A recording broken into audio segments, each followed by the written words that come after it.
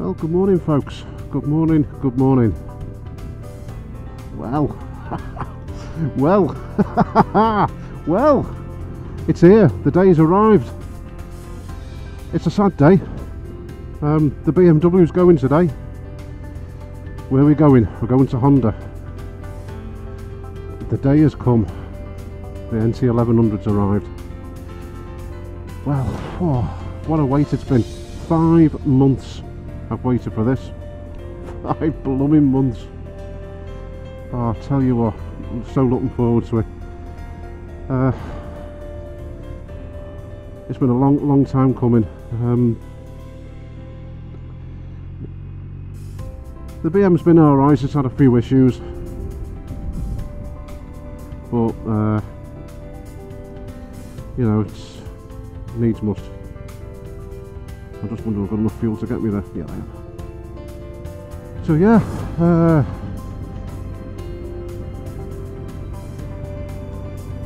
the day's arrived. Well, I don't know how the vi video footage is going to come out today, guys. I'm experimenting with my new Ghost XL Pro. So thank you to um, Craig from Motorevs for doing his review. Gotta give you a mention, pal. Sorry. he did a fantastic review on the XL Pro. I uh, decided decided I would go out and buy a new one. Um, not quite retiring the Ghost S just yet, but um, I want to test the Ghost XL Pro today, as this will probably become my main camera. It's uh, if I keep it at 1080p, I should get between seven and eight hours worth of um, battery life out of it. Now the thing is, when you're on tour, when you with the Ghost S's, they're fantastic cameras, but you've got to take about 3 million batteries with you. Now my Ghost S is now 7 years old, and although it's still a good camera, the batteries are starting to uh, show their age. And where we used to get 3 to 4 hours out of a battery, now I'm lucky to get 2 hours out of it, so you know, um, the batteries don't last as long as they used to. And I've had a couple of, uh, recently, I've had a couple of failed SD cards. Now, this, this video is going to go out before our uh, Scotland trip, so I'll give you a bit of a teaser, a bit of an insight. Um, my Ghost S decided to um, fail on the first day. Um, my whole footage of our ride up to Scotland has been lost. Luckily Ray's footage is there and I've got the off-bike footage.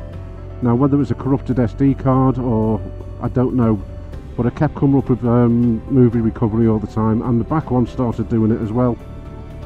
I've re-updated the firmware, I mean the, the, firmware was up to date anyway, but I've uh, I've re-updated it to make sure there's no sort of software, you know, hard firmware issues, software issues. So anyway, thank you to um, Craig's review at, uh, on Motorevs for the XL Pro.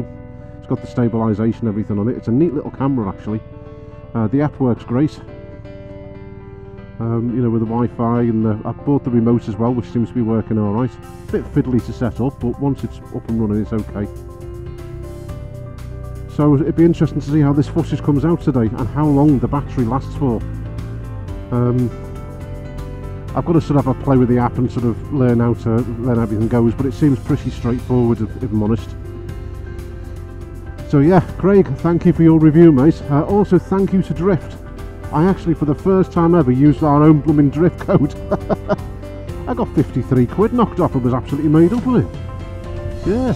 I bought the remote and the camera. The camera should have been 250. And obviously it's 20 quid for the remote. So like 269 I think it something like that. Anyway, I got 53 quid knocked off. Well, nearly 54. So thank you for that drift. Pleasure. Well folks, the last 100 yards. There she is. There's Honda. Nice, very nice looking NT parked over there.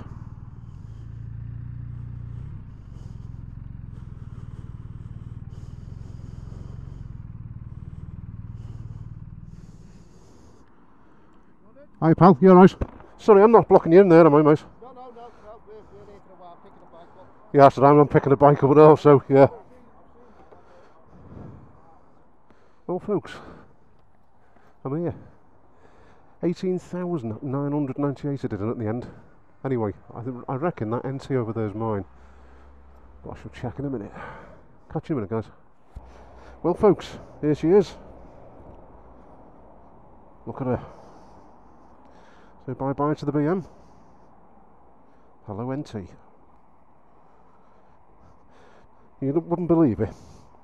I've been here two minutes, going to get my keys, come back out, birds crapped all over the bike. You just couldn't make it, you couldn't write it, could you? Anyway, let's get this show on the road. Oh.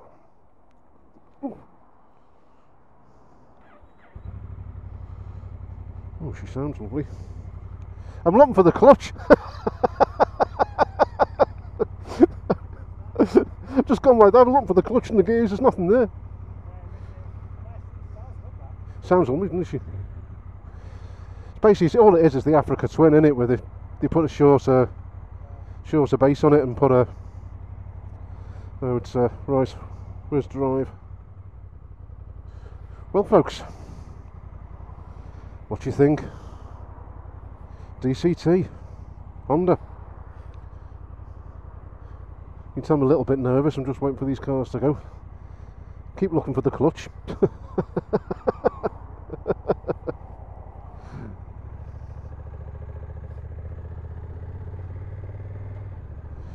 oh, this seat feels lovely. I've got my screen on the lowest setting at the moment, so I'm gonna have to do something with that. Brakes feel lovely. What I've noticed of this straight away, folks, how easy it is to control at low speed.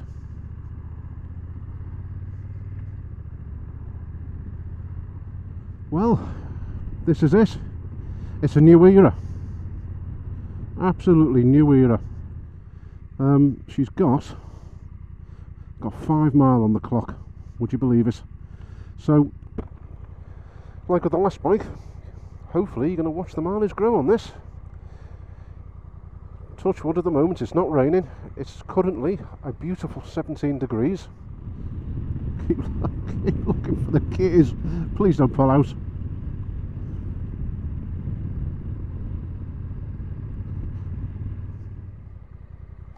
Yeah, the screen's just slightly too low.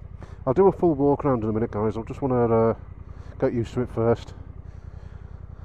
She smells brand new.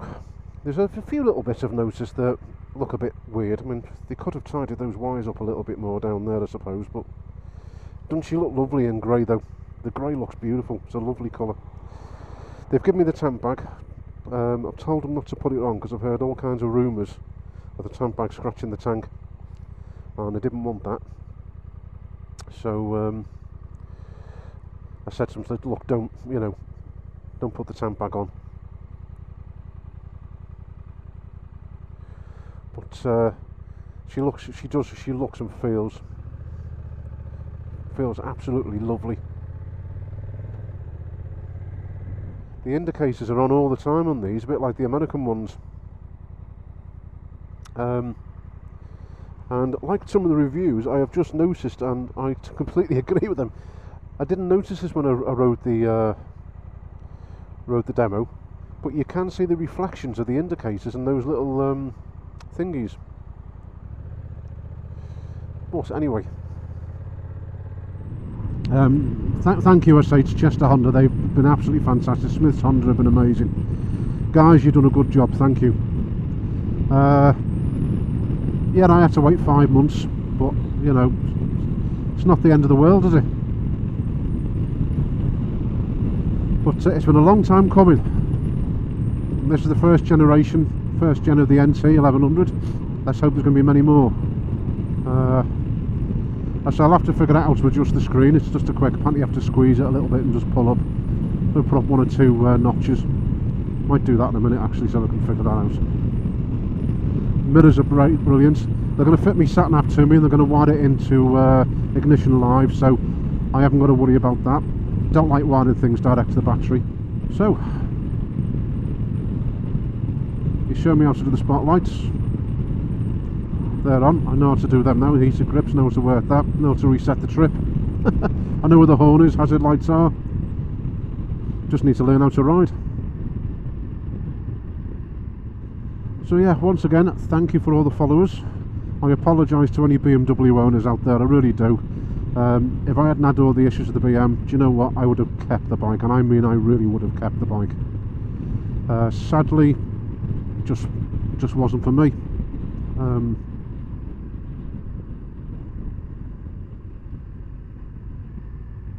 you know, it's a shame really because when she worked, she was beautiful. But we're on to new new stories now, aren't we? But this is just effortless to ride.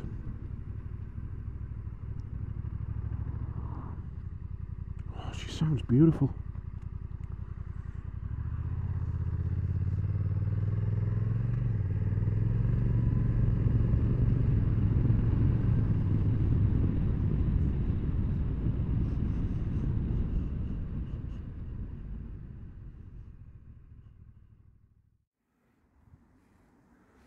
Hi folks, how are we all doing? Well, I thought I'd give you a good look at the new bike. This is a new Honda NT1100 uh, based on the Africa Twin. Uh, lowered the uh, suspension on it, they've put uh, road wheels on it, but pretty much other than that, it is, it is damn it, the same bike. There you go, I've, uh, this is my new one. It's got the uh, Voyage pack on it, so got the top box on it. It's got the uh, comfort seat. So the top box is great actually. Fair amount of space in that. Uh, I've gone for the comfort seat which is amazing by the way. Uh, this one I know some people don't like it but I've gone for the uh, DCT and I've also gone for the spotlights at the front which look amazing. Overall been very very impressed with it. Oh and they put the uh, bigger See down here they put the uh, bigger pegs on. Bigger pegs on for the pillion. The exhaust sounds absolutely gorgeous. Top box is not a bad size actually. Um, it's okay, so I'll show you that. So folks, there's the uh, top box. Not a bad size to be honest with you. Uh, I have got bags that will go in there. Uh, comes with an insert when you buy the Voyage pack and the side panniers are the same. Now it's, it's the side panniers aren't massive.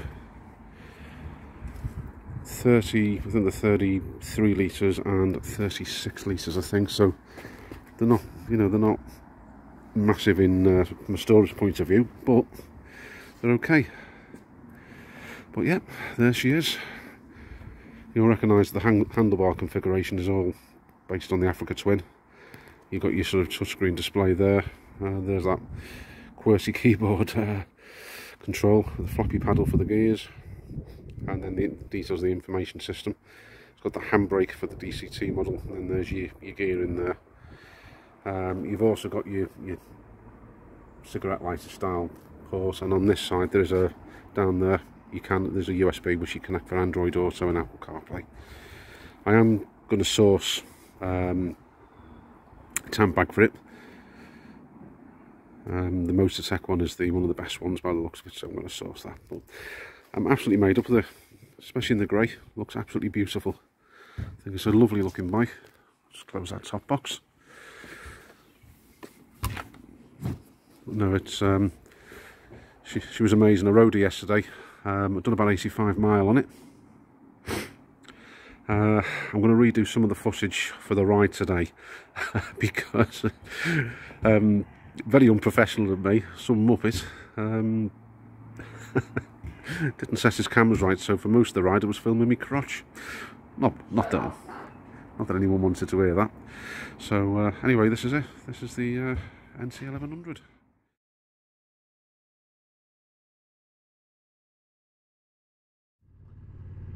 Hi YouTube, how are we all doing? Well, um, you would have seen the original footage of me picking up the bike. And to be fair uh, it was pretty appalling. So I apologise up front. What I've done is I've bought a new Ghost XL Pro which I spoke about on the uh, the original video. Instead of me using my Ghost S because I'm used to that I thought I'll try the new camera.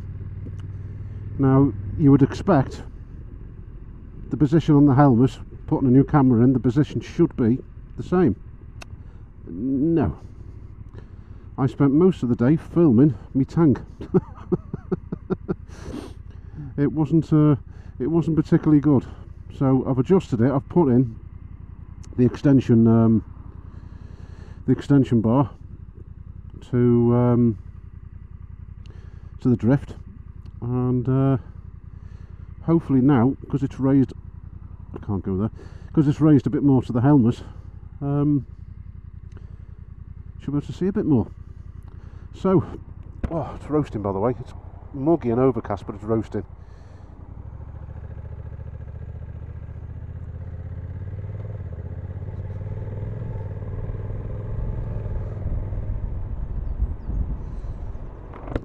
So yeah, um, NT, absolutely loving it. Uh, it's brilliant. She feels nice, nice and smooth. She feels really smooth, in fact, actually. Um, I'm still got teething issues with the Ghost XL Pro. Uh, as I alluded to a minute ago, I um, was filming most of the dashboard and filming most of the uh, most of the tank yesterday. So I don't know how long the battery's going to last in the Pro. I've not bothered charging it because the original test was to see how how long the battery would last. Um, and currently, it's done alright actually. We've still got two bars in it. So I did four hours yesterday and only used half the battery life, which would sort of indicate to me that I should get about eight hours at 1080p, 60 frames a second. So this is a second test of the camera and another and another film of the ride, folks. So yeah, I'm on the NT. Um, she is a dream. She's lovely. She handles well. Um, can't wait to sort of ride her properly. I'm obviously doing the uh, the running in process at the moment. Yeah, she's a, she's smooth. She's comfy. There's a few things I like. I can stand up, which is really nice. Give your legs a stretch. The seating position is amazing. You've got like a a well thing you sit into, so it's uh, it's great for the you know, great it from the pillion, but at the same time it gives you something to lean on. So it's currently five past two on Sunday, and uh, Sunday the 19th of June 2022. So I've had the bike a day. Uh, I've currently done 96 miles on it, folks. So I've, I've got to do 600 before the first service. The wind deflectors are great and the screen's great. Now I've put it to uh, I wanted to. Now what you won't see on the video yesterday, because the filming was awful, was um, the bike itself is amazing. I love everything about it. The only complaint I've got at this early stage is the bloody screen. um, absolute nightmare to adjust. It really is a nightmare to adjust. So uh, that is my only gripe at this stage. Now I had seen reviews on it and people saying, you know, what's the screen like? it's a nightmare, it really is. So th th again, this is another test of the camera, folks. We're going to get a few videos testing the new Ghost, Ghost XL Pro, and I will do a review of it at some point. Um, just give you my thoughts on it. I mean, the battery life seems to be great. I mean the quality, the image quality seems to be amazing. It's just, uh, there's two little things with it. One, I have had to adjust the the, the, the angle of it because it wasn't like the Ghost S. And I'm still, I mean the Ghost S HD is still hard to beat, it's a bloody good camera that. The other thing is the field of vision. Now the field of vision, or field of view as some people call it, is only 140 degrees on the XL Pro, where it's 160 on the uh, Drift Ghost S.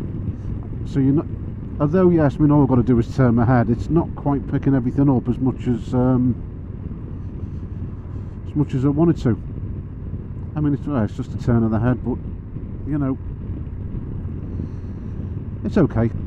Um, the, the stabilisation I haven't checked yet. I don't know what that's going to be like, but I think it's going to be okay. Got me remote ride up on the camera today as well, so um, found a nice little place to put it on the uh, on the handlebars. The actual view um, of the bike, you know, the uh, the visibility, etc., is amazing.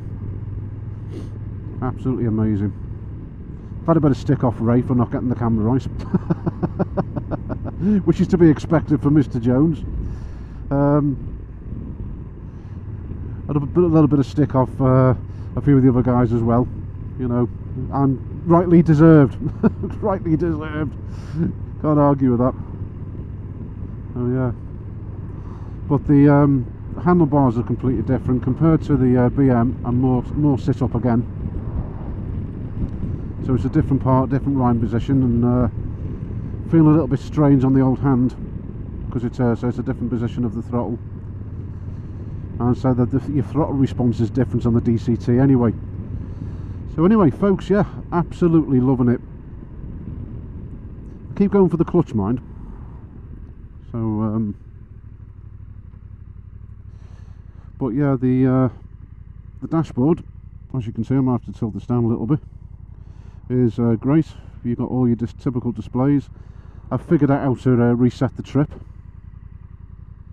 which has been good. Because that was a bit. Uh, even the shop couldn't figure it out at first. But yeah, it's um, this has been great. So I'm, I'm just looking forward to getting out and getting a bit of riding done it. So so now it's done exactly a hundred. Well, the bike's done exactly a hundred mile. Wow. She's got a lovely tone to her, I must admit. She does sound lovely. One thing I've had to get used to again is a set of keys. that BMW for three years. Um, I put my winter gloves on so my hands were bloody freezing yesterday. So I put them on.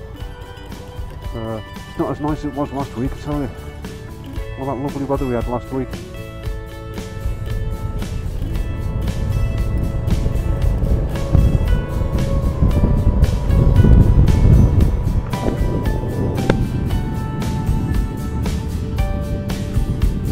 Oh, we've got a bit of rain coming, have we? On poor new bike.